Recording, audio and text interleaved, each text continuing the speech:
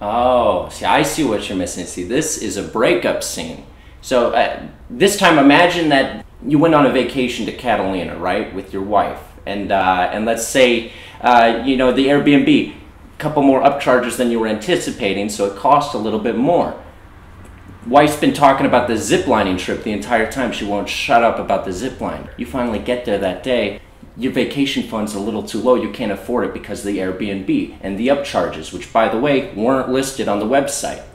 Fast forward a week, you're back at home, okay, home from Catalina. Wife still won't shut up about the zipline incident. You get a call from her grandmother. No, her mother. Her grandmother's dead. That was a sad occasion, and we're not going to talk about it. You get a call from her mother.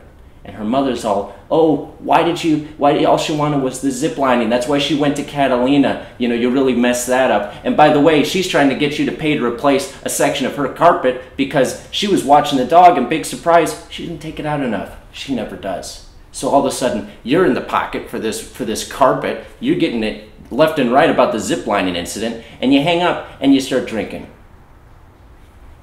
Try bringing a little bit of that energy to the scene, could you? I think we should see other people. Okay, that was good. I think we should keep all of that that I just said. Let's try adding one little more thing. This time, your character really likes mint chocolate chip ice cream. Action. I think we should see other people. That's the one.